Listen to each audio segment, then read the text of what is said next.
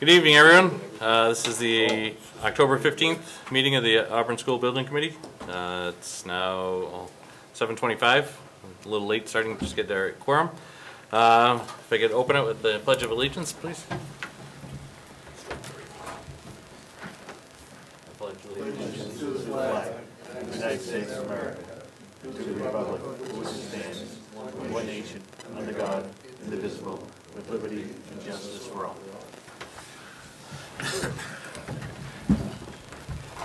All right, uh, this meeting is being recorded. I ask if anybody in the audience is recording. Uh, Don't have anybody? Okay, um, first item on the agenda is uh, citizens' comments. I don't have any of those. Uh, Before we get to the approval of the minutes, uh, I'd like to just express my own personal gratitude to uh, all the uh, committee members that spent uh, Saturday and a good part of a Tuesday night to interview all the uh, CM candidates and stuff. And um, we got to a good spot, so we're only got, uh, I think it's 22 months plus or minus left before we're putting kids into the school, so giddy up and let's go. Um, Next item on the agenda is the uh, approval of meeting minutes. We have uh, uh, several on here. We have uh, from the September 24th uh, meeting. We're going to take that one first. I Entertain a motion to approve. I'll make that motion. I'll second it. Okay. Uh, Any comments, issues with it? Okay, all those in favor? Aye. All those opposed? It's a vote. Uh, The next one is the uh, meeting minutes of October 5th. Um, This is the first day of the uh, interviews. Um, I'll make a motion to approve them. Okay, second? All right. Uh, Any discussions, concerns? All right, all those in favor? Aye. All right, and I am abstaining because I wasn't there. Uh, Okay, the next one is the uh, meeting minutes for the October 8th. Um, The second night of the uh, interviews and the uh, final uh, tallying of votes and stuff from the members for uh, finalists. I make a motion. Okay. And do we have a second? Second. Any questions, comments? Okay, all those in favor? Aye. Aye. And uh, I'm abstaining. All right. Next item is a proposed additional services. Dale, you want to run through this, or Yeah, um, we have in front of, oh, you have to get up there to- so I can hear you? I'm sorry. Um, yeah, what you have in front of you is uh, a flow test. This is required to look at pressure out in the street. Uh, we looked at it, we think it's fair. Um, we would recommend approving it. The quote should be in the, in the booklet or the package there. That's a Cogswell sprinkler? Yep, Cogswell, exactly.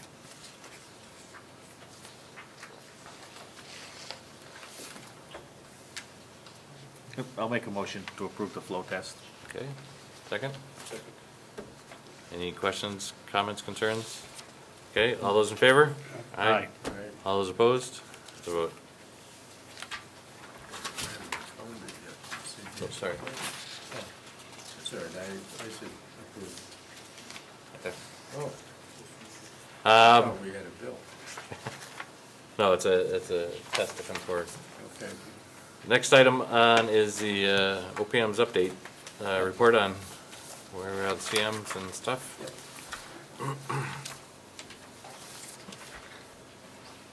Okay, um, just to, um, just go back, because I know some of you weren't here throughout the whole entire process. Um, So the CM selection process, we went out, um, into the marketplace, we had a good turnout.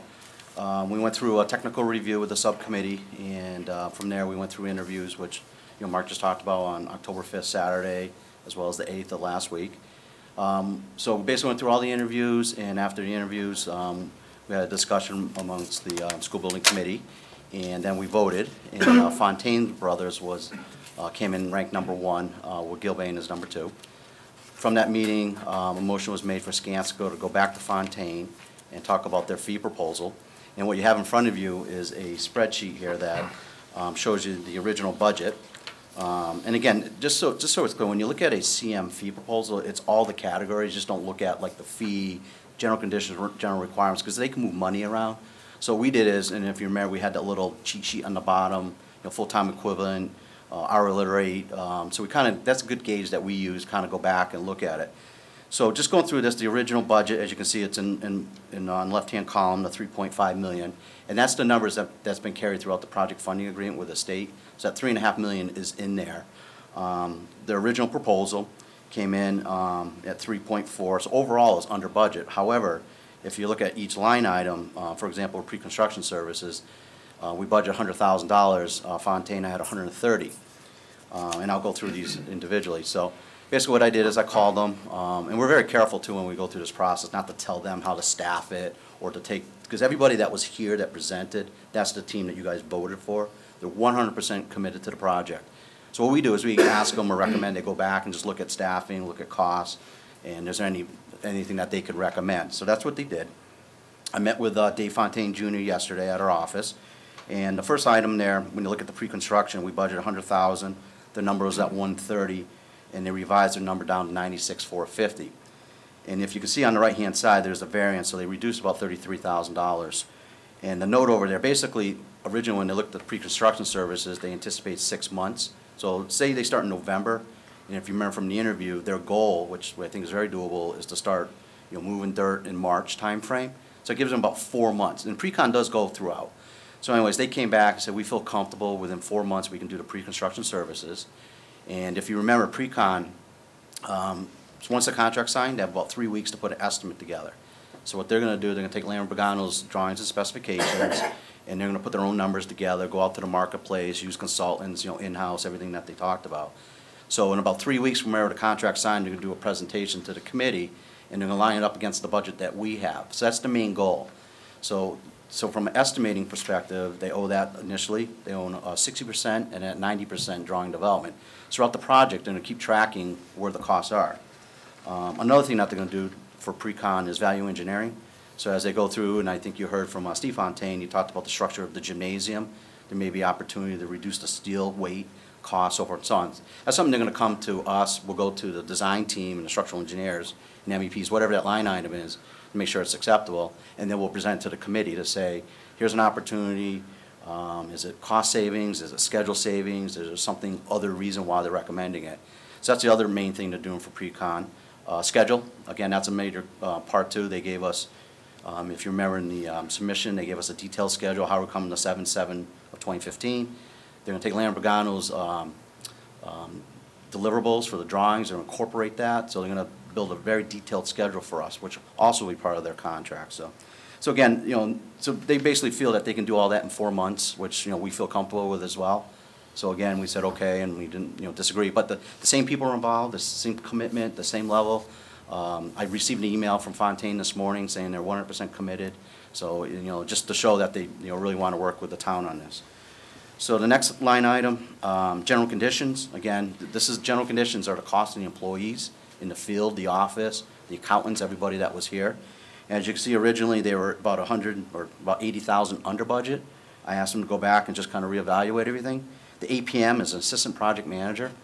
Um, Jamie, who is the, who is the guy that was here, the project manager, he's a pilot, well-qualified. He has two assistants that are gonna help him throughout the project. So they went back and said, okay, we don't really need, I think they had a person in there for like sixty percent of the time, another one for forty. Just maybe we can back off ten percent of one of the assistants. So Jamie, without question, is one hundred percent on this project from the day it starts to the end. Um, and also, the other one was the, in the field, you met the superintendent. If you remember, they had another assistant who wasn't here. Both of them were budgeted full-time throughout the entire project. So they went back and said, all right, do we need, we need the main super, but the assistant super, do we need them full-time? And you'll see over on the right-hand side where I said, you know, they originally had them for sixteen months. They felt comfortable with having the assistant super for fourteen months. Um, so I think the thinking is that on the early part of this, when they're doing, you know, some site work, they only have, you know, one trade, maybe two out here. They'll need two full-time guys watching. Um, the next line item, again, their fee, that's fixed, that's non-negotiable. So again, that number is just carried across. And then the next one is the, um, construction services, um, or I'm sorry, the other one is general uh, requirements. And general requirements is basically the non-labor related stuff. And as you can see over there, it's the CM and OPM office costs reduced. And what that is, is that they have trailers out in, the- in the site. Uh, The superintendent's offered to use this building where we, being the OPM, can sit here.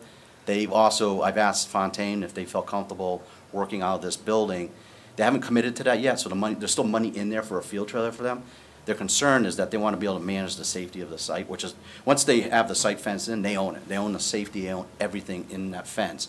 So they want to really look at this to say, okay, if a a visitor comes in, can they control, you know, sign in, make sure they have hard hats, and what, what are they doing, how long they're going to be here? So, again, that's something that we can still go back to them on, so uh, we left the money in there. So overall, um, you know, from the original to where they are now, they're about hundred and thirty-two thousand dollars reduced. Um, we went through this, we think there's enough money in there to manage it for everything that they talked about.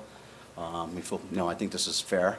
Again, if you look at the project, you know, they're probably right around overall percentage, you know, they could be around nine percent all in with all their, all their, uh, uh, fees and stuff. So I don't know if there's any questions?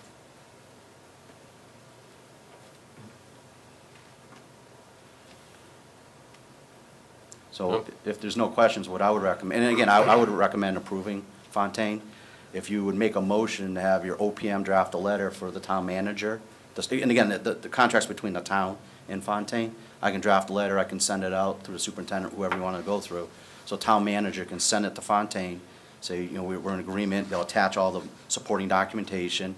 Uh, the next step is Fontaine will put the contract together, they get all the bonding and all the stuff, all the exhibits, you know, the, the, their detailed, um, uh, schedule, all the stuff that's in the RFQ and everything that we've asked them to do. And then it goes to the town, which we'll review too before that we would recommend having the, you know, town manager sign off on it. They'll sign off on it, being the town. We give it back to Fontaine, and then I think the next step is for them to come in and, you know, at the next school building committee meeting, meet this committee here and, you know, talk about what they're gonna do and what, how fast they're gonna do it for us, so. I'll make that motion. Okay. Second? I'll second. Okay. Uh, Any discussions, questions? All right. All those in favor? Aye. All those opposed? Vote. Okay, So- thank you. Um, The next one, I'm going to turn this over to Eric in a minute, and Eric's going to, we, with the MSBA, we have a submission that's coming up on October 23rd, which is next Thursday. Um, This is the design development submission, so it's everything we've done to date, all the drawings, everything that's been updated, everything that you- you've seen here and on, uh, through the links if you used it. Um, That goes in next week, which also includes a budget update. Um, Our estimators are still going through the budget, so as you can see the motion down there, uh, we feel pretty comfortable with the construction number, that we will not exceed that. Uh, We can meet next week and give it to you if you like, or if you want to make that motion after Eric goes through his presentation, that as long as we're under that thirty-seven-seven number. And again, that number there is all the construction, all the contingency for construction, it's all construction related. All the alternates, everything is in there. So we're, what we're trying to do is, once that's submitted, I can share the summary to this group if you would like to see it. Uh, we just want to, you know, again, we can meet next week if you want, but we'll just come in and look at the updated budget. Yes, yeah, all, yeah, that's a good point. All, all their fees and everything's in, and again, that's a good point. If you look at the original, what we budgeted and what Fontaine's at, this three hundred thousand comes out of this number right off the top because of their general conditions. And as, you know, as you know, the, the fees are a calculation, so long as when that construction number comes down, their fees also will come down with it. And other, you know, like, um, construction contingency money is used as a percentage. So yes, to answer your question, it's in there. I'll turn it over to Eric.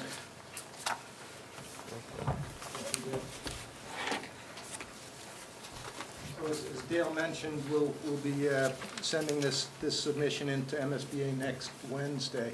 Um, it- It's, it consists mostly of uh, drawings and specifications, and a hard copy was, uh, was delivered to the building committee last Tuesday. Uh, There is also on our, on LPA's FTP site, we've made that, the drawings and specifications available in uh, electronic format and PDF format to the committee. I think everyone got a, a, um, an email from Mary Ellen with instructions on how to access that. If, if anybody needs that again, just let us know and we can, uh, we can send that out again. Um, In addition to the drawings and specs, there are uh, a few additional items. There's uh, uh, Other deliverables include meeting memos, uh, there's some narratives that describe the various systems, uh, and, and pretty much updates from anything that's changed since schematic design, anything that's, uh, in terms of the room data sheets, uh, you know, the land acquisition, you finalize that, so we're including those documents. Um, The total project budget, once we have that, that number uh, reconciled. Um, We've done some additional soils testing, so we'll include those things as well and find, that all together. Um, Following the, the uh, submission, the DD submission, will be, uh, we'll also be starting the uh, site permitting process. And the, this, the project is subject to site plan review, so we've had some meetings with the uh, town's development coordinating group and started that, that process informally, and we'll, we'll be making a formal submission uh, on the 24th, uh, so that we can get on their, their agenda for the November meeting. Um, So I thought tonight, uh, you've, you've, uh, you've seen most of the graphics I'm, I'm going to show you. We've concentrated a lot on floor plans and uh, two-dimensional drawings so far, but I thought tonight I would, I, I would bring some actual materials, samples that we've uh, specified and, and kind of show you what we're proposing in some of the uh, main areas. Um, One thing, you, you'll see colors tonight. We're not selecting colors tonight. Uh, This is really just to show you the, uh, the the type of material that we specified. That'll be a, that color selection process will be a, uh, a completely separate process once we have submittals from all, from the uh, contractor for all of the uh, materials in the building. We'll, we'll put those together and put together a cohesive uh, color, color board for, for your approval. So uh, to start with, uh, thought we'd start with this band choral area. And I'll pass these around as I, as I go along. Um, In the, uh, in the band room, we, we, uh, on the ceilings, we're using this, this metal panel. And what we try and do is to, to get a, uh, we, we want a combination of absorptive materials and reflective materials. And this is a metal panel. You can see it's wedge-shaped, and these, these go up. Fifty percent of the ceiling will be used with this seal, with this uh, panel. And it- what it does is it reflects the, the uh, sound in, in various directions. So, Pass that, that around. We're also using this, this, uh, this material, and throughout the school, we'll be using this material as a sound absorptive material on the walls, both in the, uh, the band room, as well as uh, the uh, cafeteria in places, and the, uh, the lobby, up high in the lobby. Um, And this will be mounted on the walls, you can see there's clips there that, uh, that's used to uh, absorb, absorb sound. Um, At the media center, I, I uh, I brought a sample of uh, some of the the carpeting. Um, I watched the meeting, oh, excuse me, I'm hitting all kinds of buttons here. Um, I, I, there were some comments about the durability of the, the carpet, and uh, what we usually specify is a six-foot wide sheet good. Um, This is a a vinyl-backed carpet. It, it's uh, very durable. We've, we've had this in, in, uh, in place in, in schools, uh, 20 years old, and it's, uh, it's held up very well, no, no, uh, no issues. Um, The nice thing about that is the, uh, the vinyl backing actually encapsulates the fibers, so it- you can, you can use a uh, uh, water extraction process to clean it, and it doesn't break down the, the backing and, and cause the fibers to come out. Also in the media center, uh, we've got some open grid ceiling. Um, You can see the uh, typical ceiling will be a, uh, an acoustical ceiling tile, uh, tegular edge ceiling tile with a typical grid. Um, We're showing these uh, pendant mounted lights, and what they, they're indirect direct. Uh, They, they project light down to some degree, 15, 10, 15% down, but most of the light is directed upward against the ceiling, and it reflects off and illuminates the room without actually seeing the light or seeing a, a lens. So it's a very even way of lighting a room. I can uh, We, we also sh- show these, uh, over certain areas, like this, uh, this uh, small meeting area and the circulation desk, we've, we've got some uh, feature ceilings, and kind of an open grid system with a, uh, an edge that would uh, look like this. And that ties into the, uh, into an open grid system.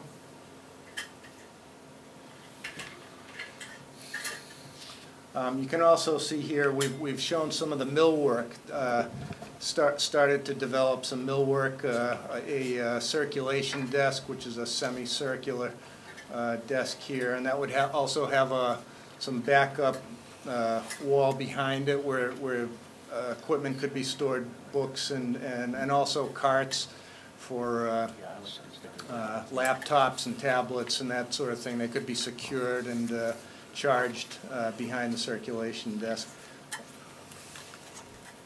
Um, The lobby, uh, we show a uh, number of uh, materials there, and one of the things uh, I'd like to, like to show you is the, uh,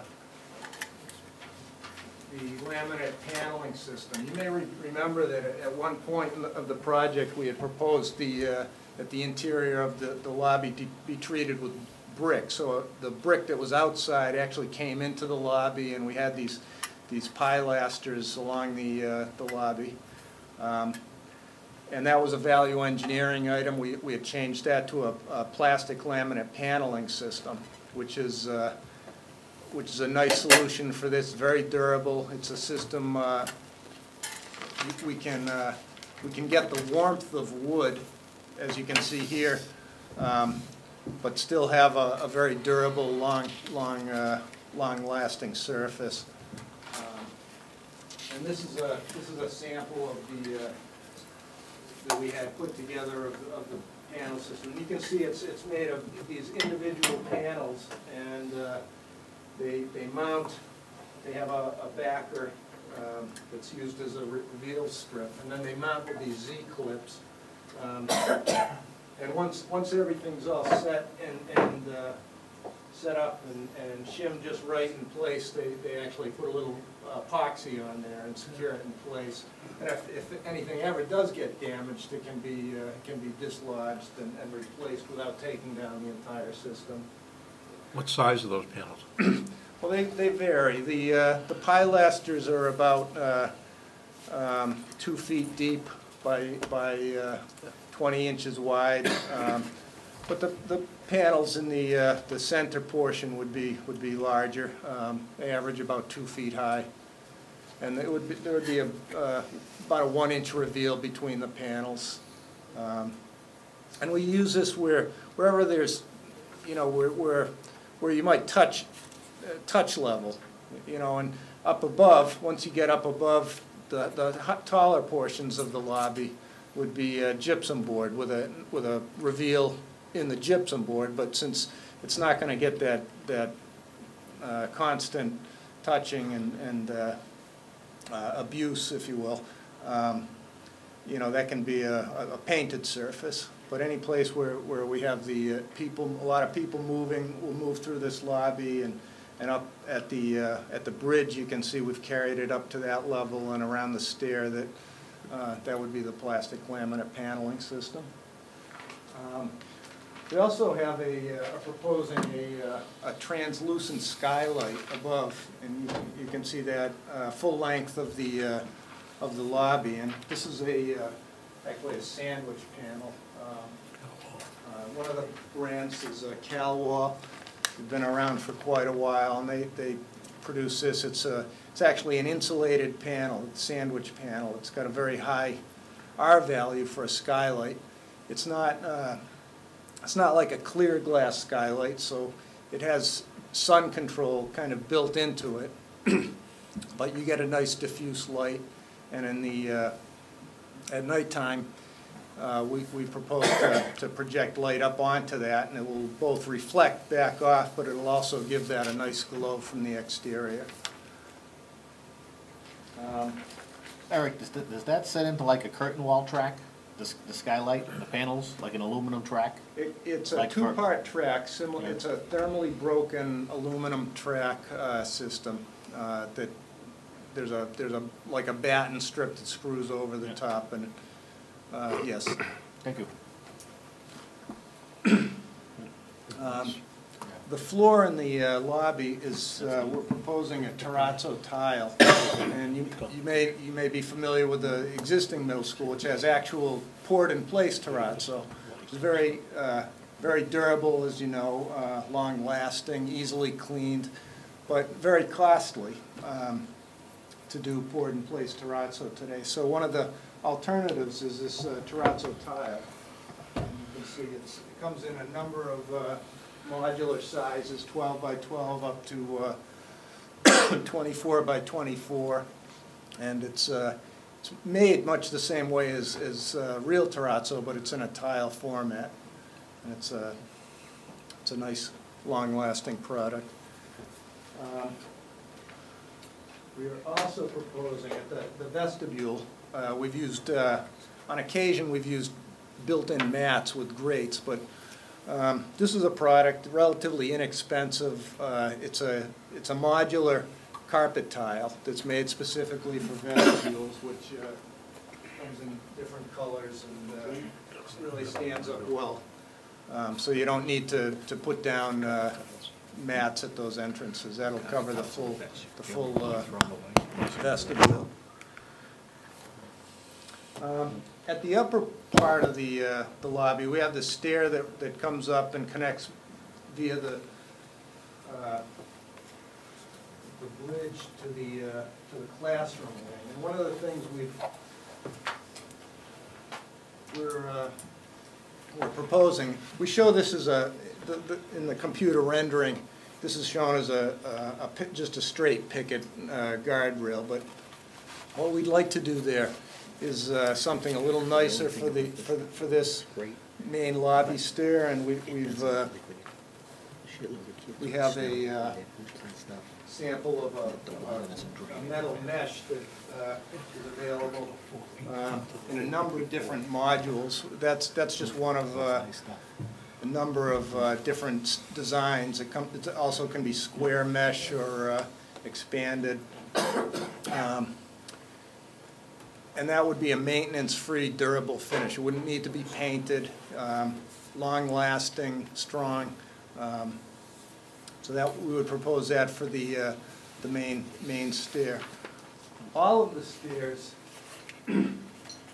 we would propose to, to go with either a- an aluminum or stainless steel handrail. And this is a, this is just a type of the, type of post bracket that's used with that. This is a, an aluminum bracket.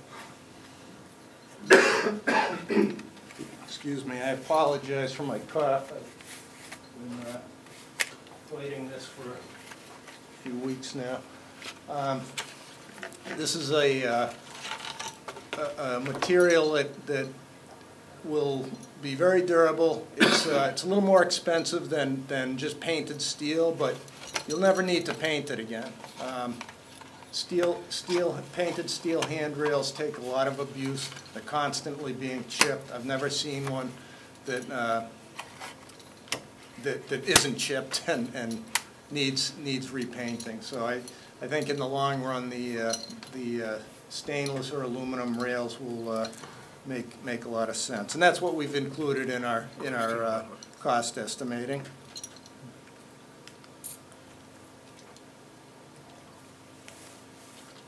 At the uh, cafeteria, we are, um, we're carrying the uh, paneling system from the uh, lobby in at the, uh, as a, as a band that runs around the entire um, cafeteria.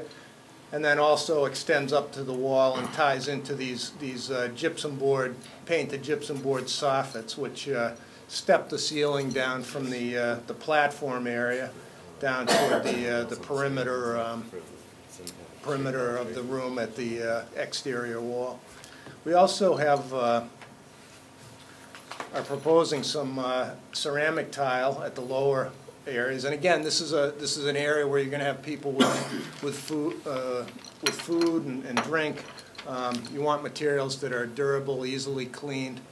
We've had good experiences with the ceramic tile. Um, Typically use a, uh,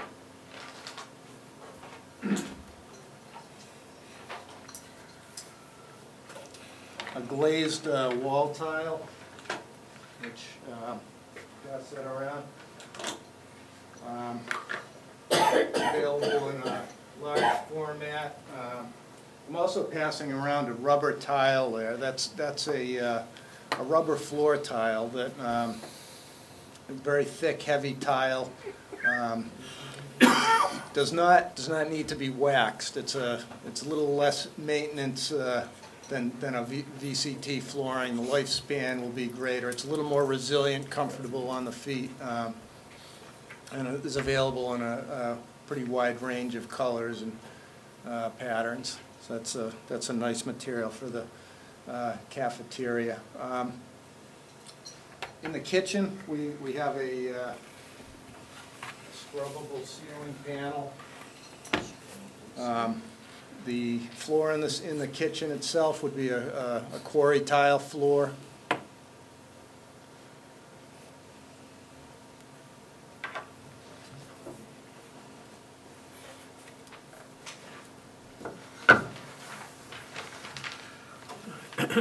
And the the cafeteria is kind of unique. It- This is a challenge, uh, a design challenge for us because it's, it's a two, it- it's used for two, two purposes. It's, it's a, uh, it's an area where you're going to have food and drink, but it's also a performance area. So the requirements acoustically, uh, in particular, are uh, much different for a performing space. You- You want to have uh, some absorptive materials on the wall, softer materials along the back wall in particular, and that's not, that, that's not really the type of uh, materials you want in a, in a uh, space where you're gonna have food and drink. You want something that's hard, easily clean. so that- it's a little bit of a challenge for us there. Um, It, it's one of those things, that, you know, you never, you never have the, uh, the perfect option, but hope, it's, it's something that will, will uh, function, excuse me, on, on a couple of different levels. And then this is, again, just looking toward the, uh, the proscenium op- opening. There would be a, uh, a, uh, a- an operable partition across that, because the partition, it's, the, the uh, platform itself will be used as a uh, chorus classroom most of the time. It's a second music room. So that, that room is equipped with a marker board projector, much, much outfitted, much like a typical classroom. Um, But it'll also ha- have this uh, soundproof partition uh, between it and the, and the uh, cafeteria. At the uh, classrooms, the, uh, and the corridors, um, we're, we're again using ceramic tile, uh, not, not down to the floor, but from the vinyl base up, up to top of door height, we- we're specifying ceramic tile, and, and we're showing a, uh, what we're specifying is at the, at the corners of the ceramic tile, instead of using a, a trim piece there, I usually use a bullnose trim tile, we use this uh, aluminum trim. This isn't the exact profile, we'd use a, a bullnose profile, but what it does is it, it gives you a very durable uh, corner there, because that's a, that's subject to a lot of uh, banging, abuse, um, and it will stand up. And, and also, it, it saves a little money in the long run because you, you're not buying the trim tile. So it's a, it's a nice, nice system that comes with inside and outside corners and trim pieces. Um, You can also see the lockers here. And again, we're not, we're not suggesting colors here or anything. Uh, We'd probably go with something a little more uh, exciting than, than gray, but uh, we've got the double tier lockers with the, with the slope top, and these are uh, 18 inches wide, so they're, they're wide, they're big enough for uh, students to get a, a book bag into, and they're um, eas- easily accessed. Uh, In the classroom itself, uh, you can see again more of the, the uh, typical ACT and the indirect lighting. Um, painted gypsum board walls, but all of the, all of the walls between classrooms have, uh, have a second layer of gypsum board for sound isolation. Um, That's, that's one of the things that uh, we get points for, from MA-CHPS for uh, um, acoustical performance, and that's, uh, so that's, that's the reason for that. We're also putting sound seals on the, on the communicating doors. You don't see one here, but most of the classrooms have a communicating door from one to the other. That'll be gasketed and, and soundproofed. You can also see some, some uh, plastic laminate paneling, uh, millwork, uh, open bookshelves along the outside wall. Um, Flooring, um, will be a a vinyl tile. I I think that's been passed around already, VCT, every, everyone's familiar with that. But then the uh, window sills will be a a Corian material. And, uh, These are a few samples of that. It's, all in a, in a wide range of materials that both approximate natural stone or, uh, or other, other uh, patterns as well. Excuse me. It is, uh, we, we use it because it's, uh, it's durable. It's, it's, uh, it's not gonna rot, it's not gonna, uh, break down. If, if, if it gets scratched, it can be ground out, so it, it's, uh, it's a good solution for sills. Um, Gymnasium, um, just a few things I'd like to point out here. We are specifying a wood floor, um, but it's a, it's a floating wood floor. It's, it's got a, uh, it's got some built-in rebound to it. It's got pads underneath it, so it, it has some uh, resilience. Um, We are specifying uh, wall pads at the ends. um, And along this side, this would be a horizontal climbing wall that would be purchased under the FF&E. And up until about 14 feet, which is this, this blue line here, uh, is a, uh, is, the walls would be painted uh, block, painted CMU for uh, their, their durability. Up, up above that, which take a little less abuse, but still can get held walls, um, we're showing uh, high abuse resistant uh, gypsum wall board and metal studs, um, less expensive than the, than the gypsum board. This is an area that uh, I know Fontaine has made some uh, suggestions already, and we, would- we'd like to revisit that with them and see, see what they, uh, uh, see what they propose. I know they had talked about the possibility of uh, load-bearing CMU, and we can explore that. We also have these uh, motorized telescopic bleachers, and those would be uh, sized to, to seat the entire student body, so they could, about 14 rows high, they would pull out um, automatically um, with a keyed switch, and those would be plastic seats, um, comfortable uh, formed seats. And then on this wall, on this outside wall here, we also have some more of that uh, plas- plastic uh, glazing,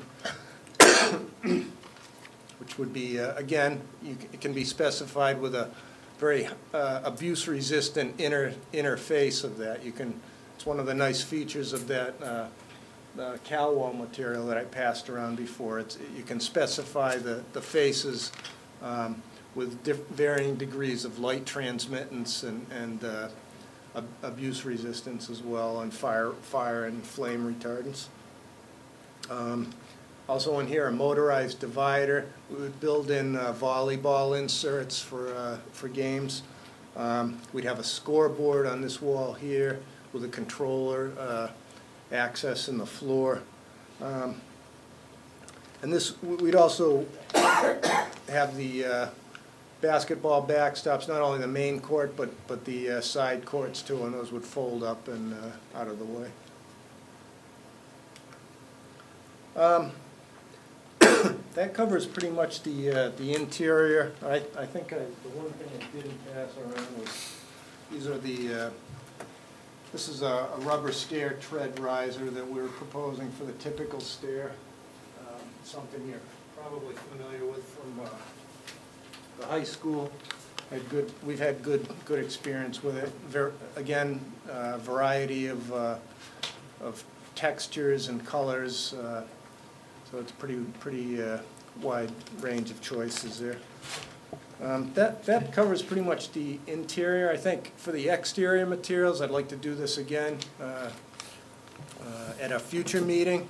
Um, I can tell you that the- the exterior of the building primarily uh, is brick masonry. We have proposed a uh, precast concrete base. You can, you can make out along, this line along the bottom here. You may have seen it on the elevations. Uh, That's something we'd like to uh, discuss with the, with the uh, construction manager, with Fontaine, and see if that's something that um, they have, they have concerns with either in terms of lead time or, or uh, installation. Um, There may be another material, there, there are other uh, cast stone materials that, that may work as well. But the uh, primary material is brick, brick veneer. Um, And then up above, high again, where it's uh, not subject to abuse, we have some uh, metal paneling.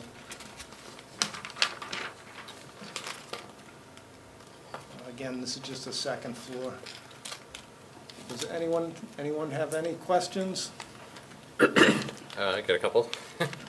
The uh, entry mat that you had there, um, it shows, you know, it has an abrasive quality to it, which is probably fine for getting dirt and everything off, but it's not very thick um, for water time, or for like snow time and Okay, uh, winter. That'd be my concern with, you know, you have about 560 kids traipsing in with boots on and everything else, dragging it in, that you probably want to be able to cap- capture a little bit more water there. well, we do have, uh, I mean, I think at the high school, we actually have Pedimats in there, don't we, at the, the aluminum mats that you have the fall? actually grate and Yeah, frame. we have, we have water levels. It's a, the recessed mat, yeah, the, but it's a thicker mat than that one. It is a little thicker. What we see sometimes is, is uh, for the winter months, they, they use the water hog mats further into the interior, Mm. um, which would be an option.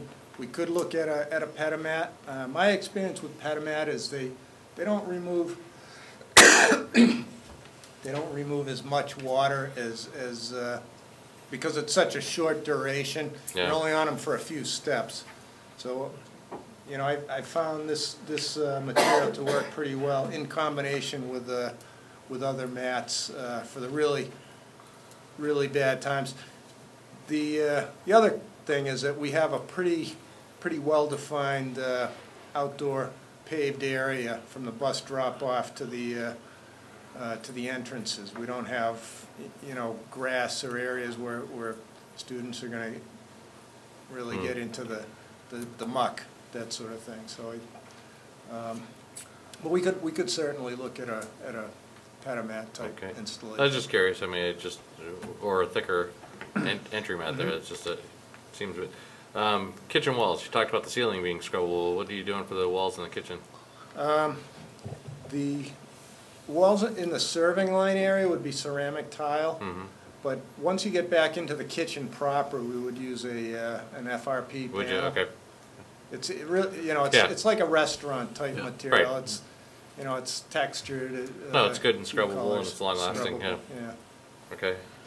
The only other thing, I, I know you met with the school a lo- number of times, but I was just surprised seeing two-tiered lockers. Um, You know, that, if that's acceptable, I mean, we're- they're all singles right now, but they're all real narrow, but I, you know. Of course, you go to the singles, and I don't know if we have enough space to get five hundred and sixty lockers in. We, we could, they'd be narrow though. The, the, you- the biggest complaint we've heard is, is that the, the lockers are too narrow to get a book bag into, Mm-hmm, so, which is why, I, I assume the preference for the, for the double, double tier. Um, They're not, they're not tremendously high, and, and again, you know, in an elementary school, we probably wouldn't, wouldn't go with a double tier, but in a, in a, uh, middle school, really seem, it, it seems to work.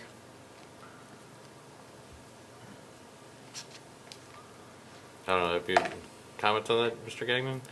Well, I I think the, the width is more important, really. Yeah. Because they still, when they're narrow, students still have to wait for the person next to them to get whatever they get out of there. So if they can get in and out of there quickly, they're just gonna have to, you know, Okay, speak to them, so it'll, it'll work. You don't see any difficulty with one being over the other? I, I don't, because they're still gonna have to wait, because when they're, right now, because they're so narrow, that they can't get into the locker next to it, so they're they're still going.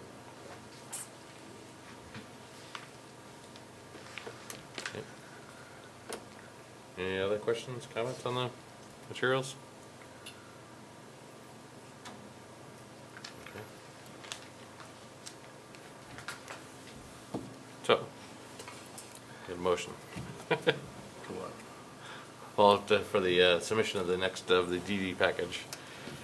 That's all you, you love that stuff. Since I wasn't here. That's right there, right. Oh, Yes.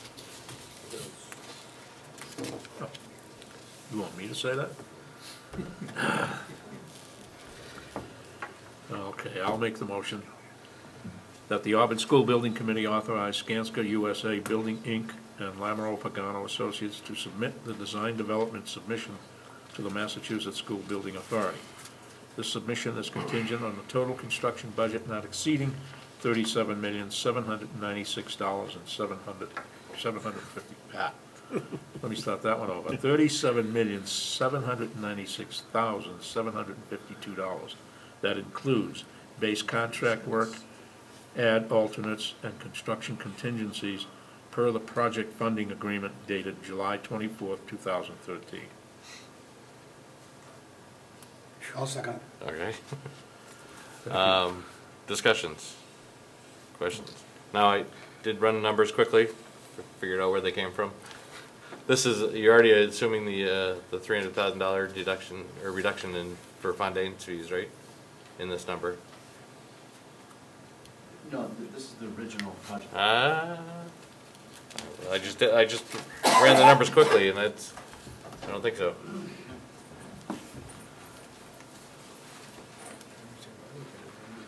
It's all inside the original forty-four million, five eleven. Yes, Yeah, But, um, just want to make sure I had the right numbers here, but that doesn't add, they don't add up to the, to the numbers I think it did. They would be the ones that you're adding up off the, off that funding agreement.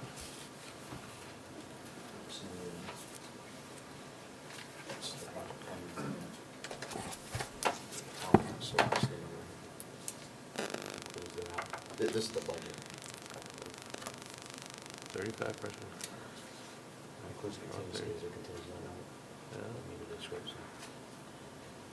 Oh, you don't have this one for two, but.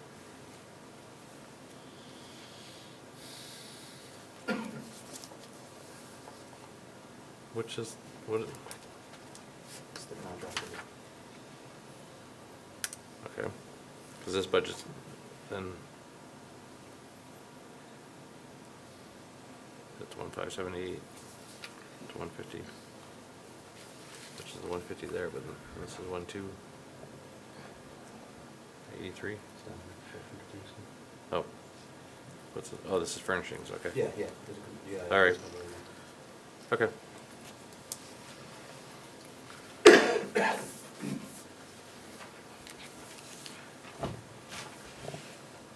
All right, any other questions? Comments? All right, um, there's a motion, so, uh, all those in favor? Aye. Aye. Aye. All those opposed? So vote. Um, Next item, uh, there was some, uh, it was brought up at the uh, September 24th meeting about some emergency shelter status of the, of the middle school.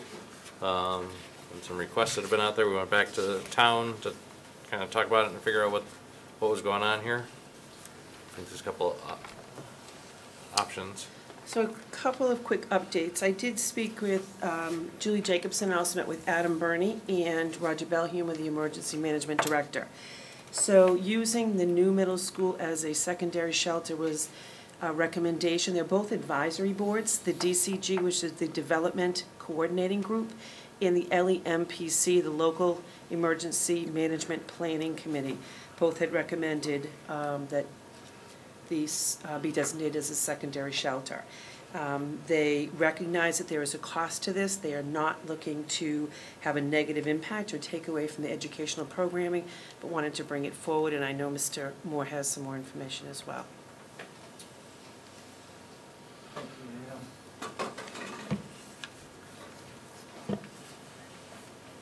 So we, we looked at uh, two options for the, for achieving the, the, uh, the request to make this a, an informal shelter. You, you've already got the shelter in place at the high school. You've got Red Cross agreements in place with that. This would be, this would not be a formal shelter. It would, it would, it would provide, at the request of the, of the DCG, um, abilities for cooking in the kitchen, which then incurs uh, running the ventilation systems. Um, It would include some, some lighting, um, both at the kitchen, cafeteria, and also the, uh, the shower and locker room areas. Um, It would, it would operate the uh, uh, hot water heating system so that people could take showers, and it would also provide some, some heat in the uh, cafeteria area and, and, and other locker areas. So it's, it's more than just running the, uh, uh, the pumps, the hot water pumps that circulate hot water through the building. That's, that's something we normally do anyway. Um, This would also run fans for the HVAC unit, rooftop units, and actually move air through the, through the building, so you're actually heating those spaces. So we looked at, at two options. The first was, was to uh, um, put all of the, all of those features on a, on a manual transfer switch. They would be on their own separate panel. There would be a manual transfer switch, and there would be an outdoor uh, NEMA-type connector so that you could hook up to a mobile uh, trailer-mounted generator in the event of an extended uh, outage. Um, And then you could run the kitchen, the the showers, those areas. Um, But you'd need a, you'd need a separate generator for that. Um, And the cost of that would be, for the infrastructure, would be about thirty thousand dollars more than, than, you know, what we would have as a, as the base uh, project. Um, And that would be for the infrastructure. And then there would be the cost of the mobile generator, which I did a quick check online, and uh, for a 65 KW generator, which is not as big as what you would need, would be about $38,000. That's the biggest one I could find. Uh, But yeah, that would, I was gonna say, that wouldn't be the school's cost, that'd be the town cost or whatever at that point, The, uh, that part. The, the other option would be to increase the size of the uh, emergency generator. And uh, to, to, to do that, you would increase the generator size by about 100 KW. Right now, we're, we're specifying a uh, 250 KW diesel generator, um, three-phase, 277 volt. um, and that would be a cost of about fifty to sixty thousand dollars estimated. Um, My concern with option one, initially I thought that was a good idea. When I found, when I started looking at the numbers, seeing the cost of, of not only the, uh, um, the infrastructure, but also the the additional generator, um, it exceeds the, it exceeds the cost of, the- of the second option. Um, And, and even though you may have the generator now, um, it, it's quite, I'd be concerned that that generator would be available in the event of a, uh, of a, of an emergency. You know, they, generators are naturally hard to come by.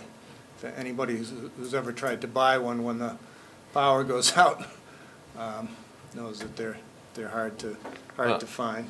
The, uh, option two, you said the increase in the size of the generator would be sixty, seventy thousand, what about all the, Fifty to sixty. what about all the infrastructure that goes along with that? No, that, that would be, that would be the, uh, that would be included in that fifty to sixty thousand. There wouldn't, there So wouldn't be you're, any more. so you're only, you're saying the upcharge on the generator is only twenty to thirty thousand, cause it's thirty thousand for option one. So you're doing all that, you have to do all that, put a transfer switch in and do all the infrastructure in terms of wiring up water heaters and all the other stuff, so that they could run on the emergency power. No, you wouldn't do the same sort of infrastructure. You'd need to increase the size of the the feeders to the, to the, uh, to the equipment that's being powered up, but it wouldn't be the same level of, uh, infrastructure as if you were gonna go with the mobile generator option. All right. That one has, has things like the outdoor, you know, Yeah. that would have a separate connection. It, it isolates those, those, uh, those loads from everything. So you, you actually flip, you you have a three-position uh, um, transfer switch. Is it still a manual transfer switch? It would be, a- it would be a manual transfer Because that'd be my switch. concern is that long-term, I mean, you know, Yes. every, every storm outage, you'd be running the whole building instead of Right. just the life safety stuff or something you need to run So just, just to, long-term. to uh, elaborate a little further on what we, the things that we normally put on the generator, there's the, the life safety things, the lighting that you, that you're required, required by, by code for life safety to do. We also generally put on uh, things like the heating pump, so that you, you're always circulating hot water through the building. And whether or not you're running all the fans too, you're, you're, you're preventing the system from freezing up. You have perimeter uh, radiation at the classrooms, so you're getting some heat value from that. You may not want to occupy the building in that state, but you're keeping it from freezing. Um, We, we would normally put the, uh, the head-end equipment for your communications, your, your servers, your, your telephone system, um, you know, your security system, that sort of thing. You, you don't want that to go down, so we, we would put that sort of thing on, on uh, backup power. We'd also put your, your uh, kitchen cooler and freezer on backup power, so you don't lose all your food if you're out, out of power for a couple of days. Um, That's, that's, that's typically done. These, these would be additional loads that we're talking about. Now, uh, is this something we need to factor into the DD budget right now? If we, I, I recommend that you include it in, in this, rather than, uh, try and add it later on. The- It's, it's always easier to, to include it now and take it out later if it's a, v- as a value, value engineering item, if, if need be, um, than to do it the, the opposite way. Through the chair, I have a question. Is, is this something that they're telling us we need to do, Mary Ellen, or is this something that they're asking us to do? Both of these boards are advisory, so they recommend it only. It, it just doesn't make a lot of sense to me that we do this. You know, we're making a spare shelter for a building that's only five years old. It, it's pretty crazy, that has all this stuff already. Hmm. But that's just my opinion. We do also have the current middle school designated as a secondary shelter um, as well.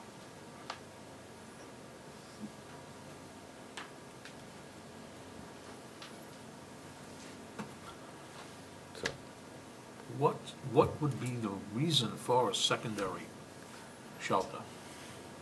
The, the concern that was raised is, should there ever be a flood at the high school, and they could not access it, so to have a secondary shelter for that purpose.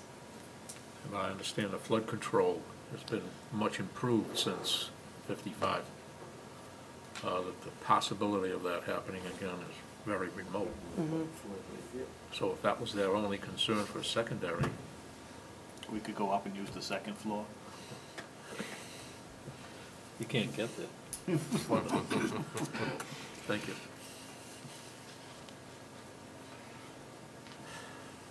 Yeah. And the design cost for this uh, generator? No. No.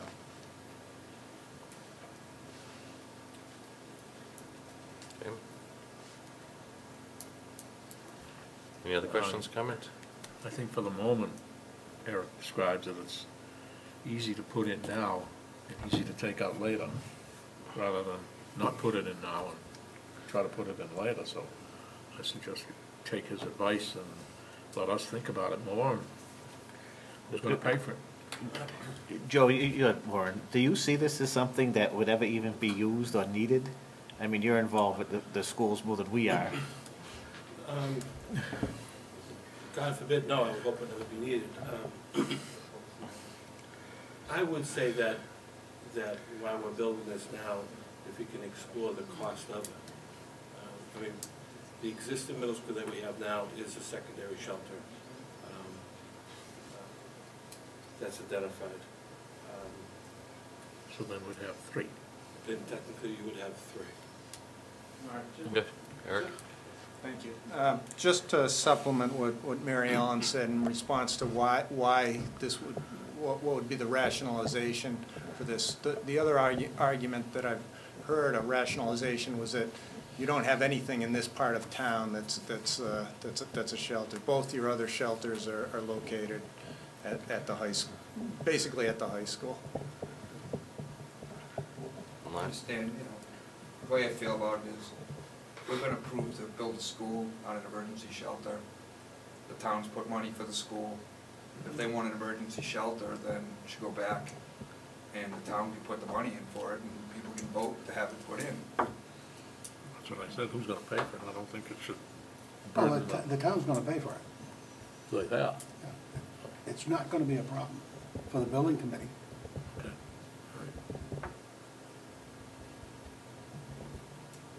Well, no, the added costs, they're, they're asking, yeah, right now, they're, it in our budget. Yeah. it's yeah, they're not, they're not handing us the sixty or seventy thousand dollars to No, upgrade But if the, they don't, if they don't hand us, if they don't appropriate the money, then it goes away. That's the way I heard Eric. I'm sorry. Then it gets pulled out, value of Yeah. insurance, it just, gets- just goes away. Can we, Yeah. can we put this in as an ad alternate, what it would cost overall? well, I don't think we can add to the ad alternates now, cause we're, it's, it's already done as, we have the two ad alternates listed so far, you know, in the funding agreement, so. It would have had to have been done back at the, uh, last stage, schematic design. Just, just to clarify, at, at the moment, we, we don't have, we don't have this built into the project. No. We, we're just covering the, the, you know, the life safety and the items that I, that I described. So, I mean, what the MSBA is gonna see is a two hundred and fifty KW generator and a, and the normal life safety stuff on there. You're not gonna change all the documents in time between now and next Wednesday or Thursday. We could, to- we could change that document. Okay,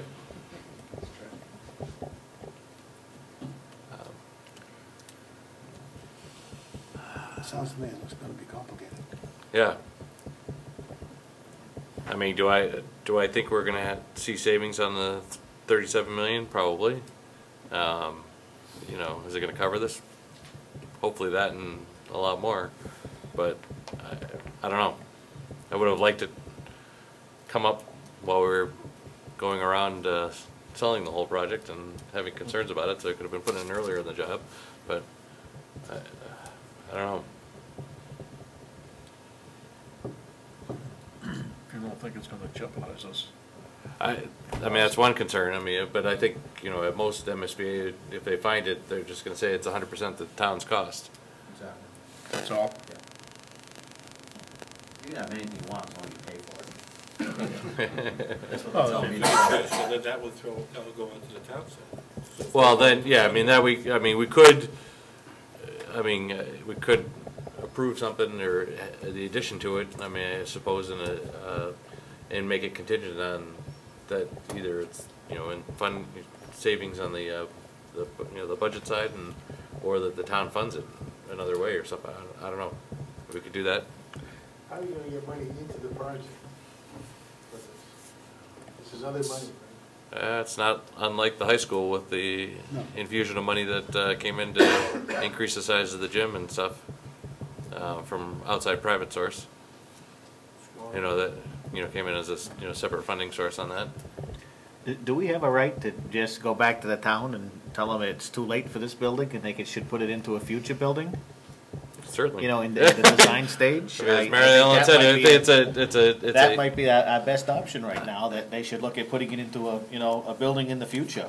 We just built a shelter a few years ago, I'm su- assuming that's gonna be there for a long time, and, you know, as the town goes forward with some of its building, maybe they should look at making another building in Well, the they have a- future. They have a second, they have a second. secondary building. now. Yeah, it's still, and it's still there. But like Mary Ellen says, uh, one of the reasons was nothing this side of town. Got Uh, it down there on. And that's certainly on high ground, you're not gonna have to worry about it being flooded out up there. And I think, you know, I think it's, a- I think it's a nice idea, but it costs money. Yeah, You know, and going forward, whatever happens with that building, you know, wh- whatever becomes of it, It's- They should look into the it's plans already that that'll, there. right, that's already dedicated, it's already there. That's right. Yep. That's, as far as I'm concerned, it's a closed matter. Okay. Eric, Why don't we is it take a simply vote? an increased size in the let's- generator? Is it simply a, an increased size in Well, the it's- generator? it's, it's, no, it's a little more involved. To, the second option, Yes, the, uh, the feeders get, get larger, Yeah, yeah. so it's not just the You have to cost have of a the manual generator. tran- transfer switch in there, you have to, you know, Emergency shelter. they're just gonna need to be exercised and stuff. uh, Why don't we take a, why don't we take a vote? Yeah, it, it- it's Well- also a maintenance thing. Like, you- Yeah. You just brought up the ex, you know, the larger that, that generator is, the more it costs to exercise it, the more it costs to maintain it, so it's a long term, you know, it's not Yeah, only. well, that was my concern about the, First- first time especially the cost. transfer switch. You know, if it wasn't manual, then every time you went into a power failure, you'd be, you know, putting the whole school into, and it'd be, you know, long-term costs in terms of fuel costs and everything, but what does administration feel? I mean, you could probably care less one way or the other, one because it doesn't impact the, uh, I appreciate the safety concerns. I want to make sure we have ample money for the educational program. Um, I mean, I think something that has just been suggested, we do have an alternate shelter, the middle school, and there will be some renovations to that. So if, if it's the decision of the SBC to not to support this for the new middle school, we would have to, we could look to see and if any upgrades were required for the current middle school as part of those renovations. Amen. diplomat. I'll make a motion that we bypass this request. I second that. All right. Any other discussions? Any other motions? Counter, okay. All those in favor? Aye. All those Present, opposed? present, Okay. Um, Abstained. you're like a Washington politician. Okay. Uh, Next item is uh, approval of uh, regular monthly invoices. I think we have two in here, one from Lamoureux and one from Skanska. We just need to make sure the Skanska one doesn't have lunch on it.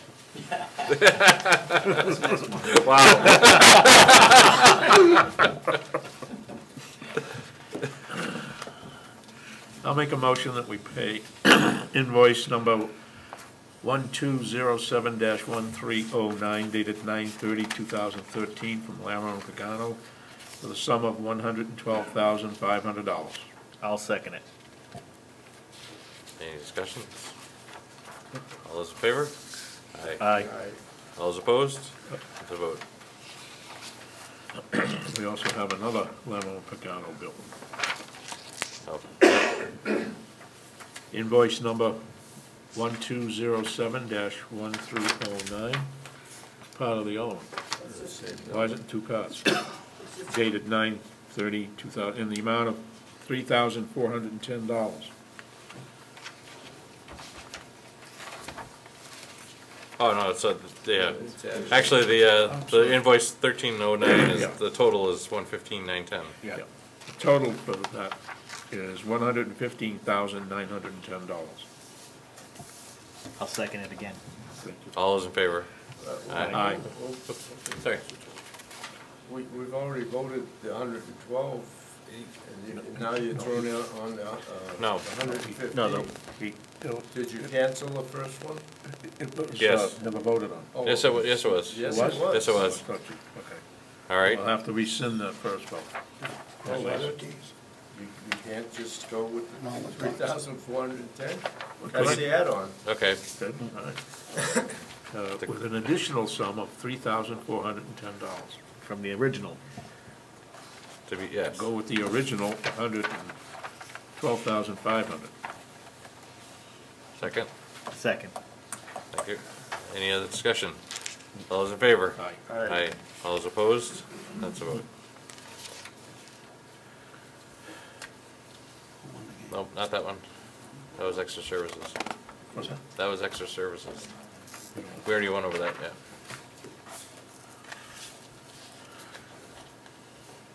I'll make a motion that we pay Skanska's invoice number one three one one eight three eight dash PDS dash one one nine two four dash nineteen dated October fourth, two thousand thirteen, in the amount of eighteen thousand, six hundred and forty-five dollars.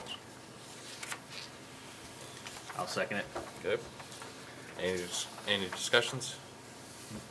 All those in favor? Aye. All those opposed? A vote. Um, Dale, I know you're down, down a man, and I hope Paul's uh, recovering well, but, uh, or the overall, uh, budget update against the, uh, project, uh, total project funding? He Usually updates is, you know, this, the sheet to show where, we- you know, what, what's spent to date so far on there and everything.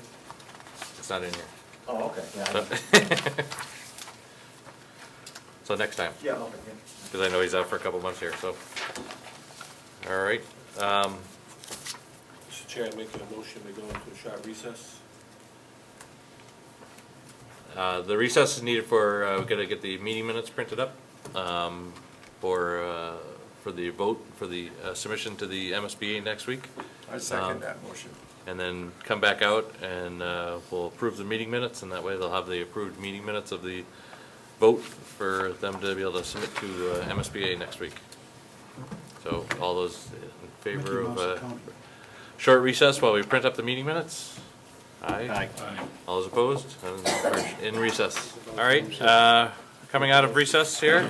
Um, Before we get to the meeting minutes, there's uh, one housekeeping thing I just wanted to get uh, here. Um, Get a letter from Julie Jacobson. It's for all town boards, commissions, and everything, uh, committee members. There's a informational session. It's not mandatory. It's a training session.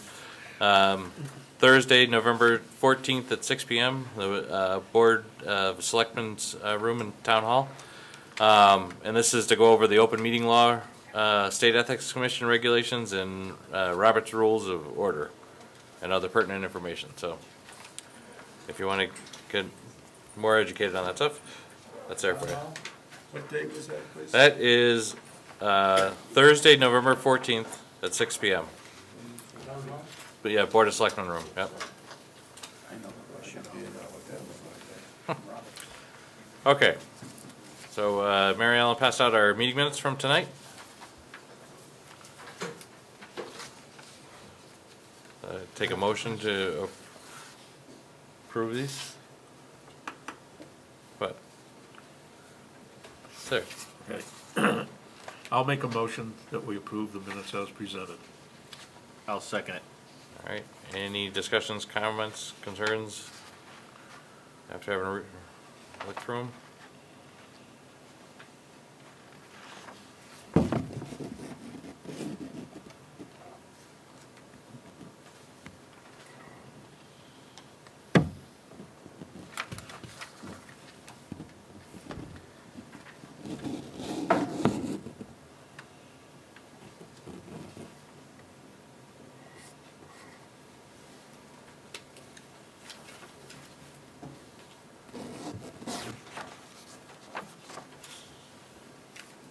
I Give people time to read it and scan it if they need it.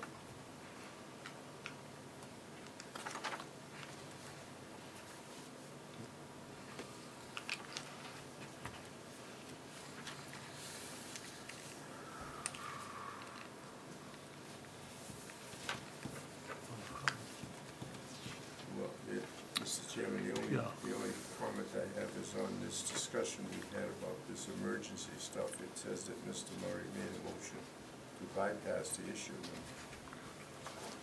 It ends there, Didn't- wasn't it second that we voted on, voted on? Seven, the vote. If you The you vote. could amend them, because it should be seconded by Mr. Westerland, that's in my notes here, I apologize. Okay. It was um, approved unanimously, but for one abstention.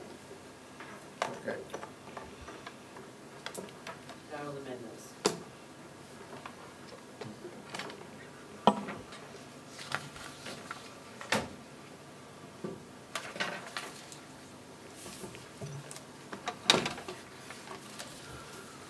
Okay, And uh, who seconded? Was it you on Skanska? Second page, did that. I think you did. Yep. Yeah, the, uh, the Skanska invoice line, yeah, it's seconded by Mr. and then no name. Okay. Mr. Gibbrey? Yes. Yes. Thank you.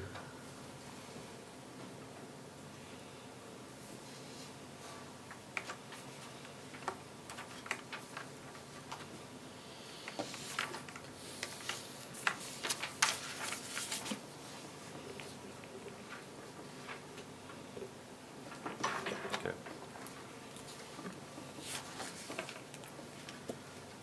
Any other comments? If not, uh, all those in favor of approving the invoices, uh, I mean, the, the meeting minutes as amended? Aye. Aye. All those opposed? That's a vote.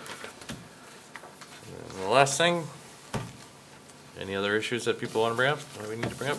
I make a motion, we adjourn. Then we Oh. take the, I'll second that, Val. all right, all those in favor? Aye. Aye. It's adjourned.